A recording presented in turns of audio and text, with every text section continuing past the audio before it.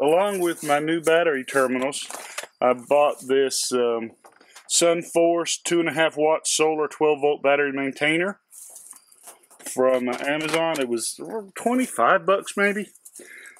But it's got the solar panel, it's got some clamps, it has a DC plug for your um,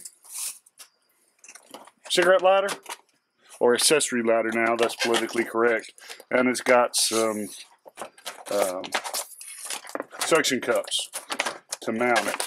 And it's supposed to be a good cell for shade. It doesn't have to be full sun, I don't know.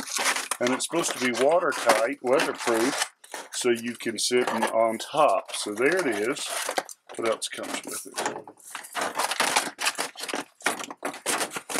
Oh, I've seen some other solar panels with those kind of connectors, so it'll go into you know charge controllers and such. I'll throw the cigarette lighter in my box of stuff because I had to take this cigarette lighter out to power the radio.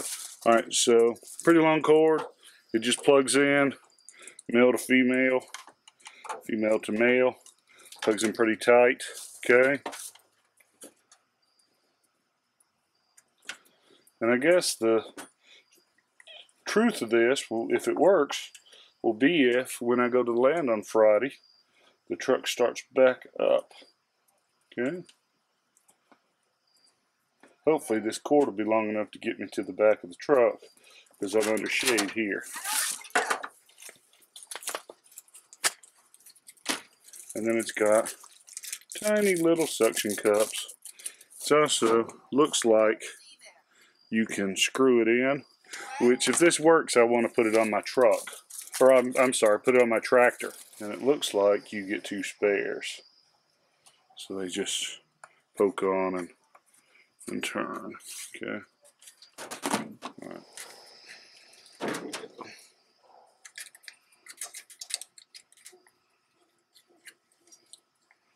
Alright, and then I'm just going to roll this out as far as it will go.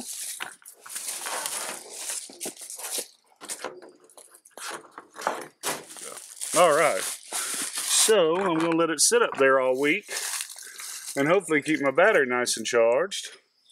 So when I get ready to go to the land this weekend, the truck will start right up.